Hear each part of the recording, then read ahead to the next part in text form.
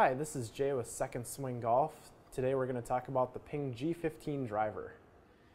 In this model, they have featured an external sole weight that optimizes the CG for a higher launch and low spin drives that travel long ways.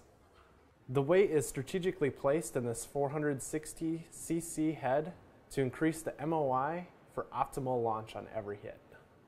This driver also features a large, thin face that produces fast ball speeds for more distance. Please visit one of our Second Swing stores for a free fitting on your Ping driver, as well as online at secondswing.com.